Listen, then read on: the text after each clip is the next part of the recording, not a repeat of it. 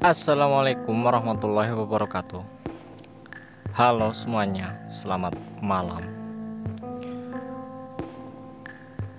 Kali ini saya akan menceritakan sebuah cerita bis mistis Dua Dan ini tentunya lebih aneh dan seram. Seorang netizen menceritakan kisah horor tentang seorang perempuan yang menunggangi bis mistis dari Banyuwangi ke Surabaya. Kisah ini hampir mirip dengan cerita hantu bis mistis yang sempat viral beberapa waktu lalu. Beberapa waktu yang lalu warganet di Indonesia sempat dihebohkan dengan kisah bis mistis.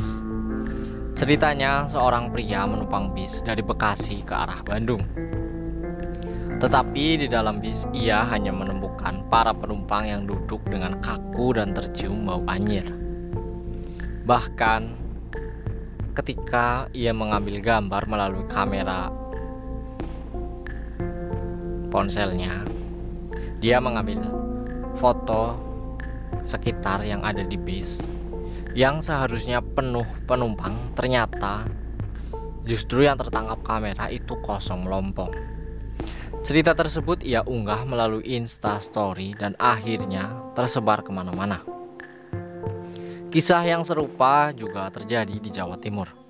Meskipun ceritanya ini bukan kisah yang baru, tetapi cerita seorang netizen yang menuturkan kembali kisah dari ibunya. Cerita misis ini diunggah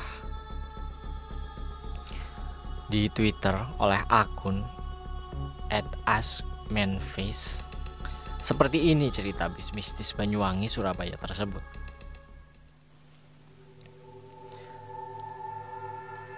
Seorang netizen yang tidak disebutkan namanya mengungkapkan cerita bis mistis setelah namanya setelah mamanya membaca kisah cowok yang naik bis Bekasi sampai ke Bandung. Sekitar tahun 90-an ada seorang perempuan asal Banyuwangi yang bekerja di Sidoarjo dekat Surabaya. Ia tinggal di kosan dekat terminal Bungurasi.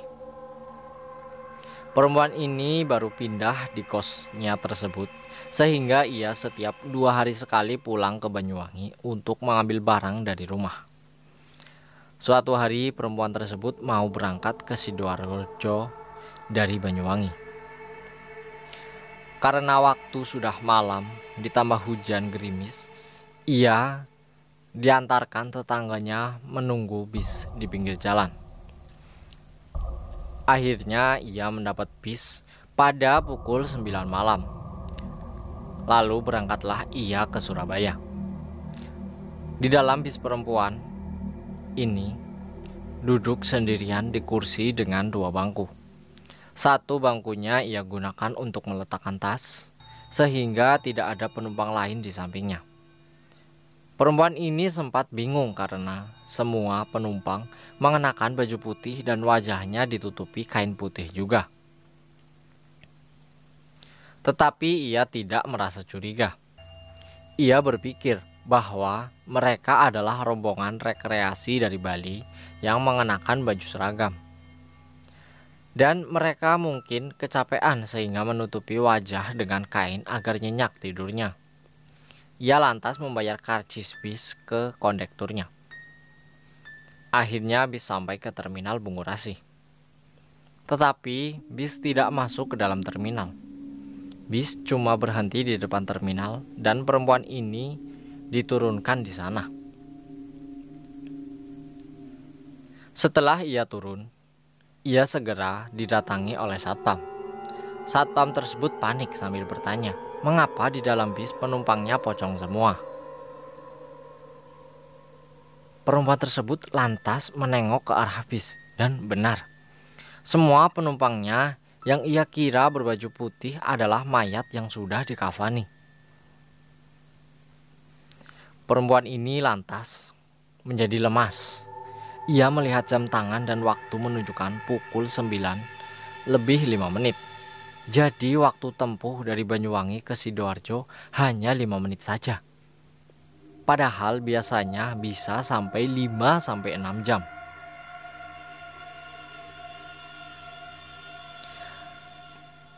Tak hanya itu, setelah ia melihat kembali karcis bisnya, ternyata karcis itu tertera yakni tahun 1965. Usut punya usut. Di tahun tersebut ada sebuah bis yang mengalami kecelakaan masuk ke jurang dari arah Banyuwangi. Semua penumpang termasuk kru bis meninggal di tempat.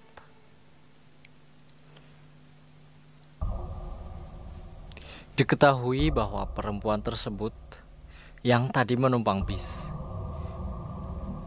namanya adalah Ibu Winarsih. Pengalaman yang terjadi pada Ibu Winarsi ternyata bukan hal tabu. Menurut penuturan seorang anak indigo, Nano Kyubi, bus hantu Banyuwangi memang masih sering beroperasi.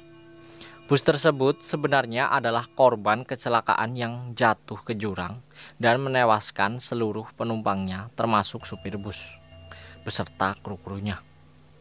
Jadi arwah mereka korban kecelakaan masih belum tenang. Mereka beroperasi karena sebenarnya ingin membantu masyarakat Banyuwangi untuk menuju Surabaya. Ujar Nano sewaktu dihubungi oleh tim melalui pesan singkat pada hari Kamis, tanggal 11 bulan 7 2019. Dirinya menuturkan bahwa bus hantu itu biasanya beroperasi pada hari-hari tertentu Salah satunya adalah malam Jumat Kliwon. Di dalam bus hantu itu ada dua jenis arwah, yaitu arwah baik dan arwah jahat. Arwah baik biasanya akan membantu penduduk yang membutuhkan transportasi ke arah Surabaya. Mereka akan mengoperasikan bus secara goib. Tujuannya agar mereka bisa mendapatkan pahala kebaikan sehingga tenang di dalamnya, di alamnya, alam mereka gitu loh. Tapi bus itu hanya bisa berhenti di pintu masuk terminal Bungurasi. Mereka, para arwah, nggak mau ke dalam terminalnya. Imbuh Nano. Sementara para arwah yang jahat cenderung menewaskan pengemudi lain yang melintas di dekat lokasi jatuhnya bus. Arwah-arwah tersebut akan muncul dan membuat pengemudi terkejut sehingga menyebabkan kecelakaan. Mereka melakukan itu karena hendak mencari teman agar meninggal di tempat yang sama. Mereka mengganggu pengendara yang lewat jalan itu seolah-olah ada orang lewat. Jadi pengendara bisa nabrak pohon atau terjun ke jurang, tutur Nano. Dirinya menyarankan agar orang-orang yang tidak diganggu oleh arwah dari bis hantu sebaiknya sebelum berangkat di malam tertentu meluangkan waktu untuk berdoa. Ingat Tuhan agar tidak diganggu makhluk-makhluk halus. Sebab kejadian ini bukan hal yang tabu. Tandas Nano.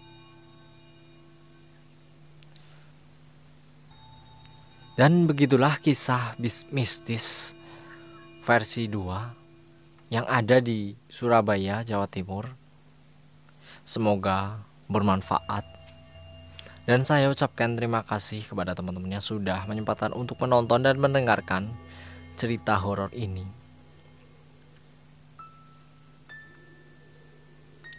Sampai di lain waktu. Dan terima kasih.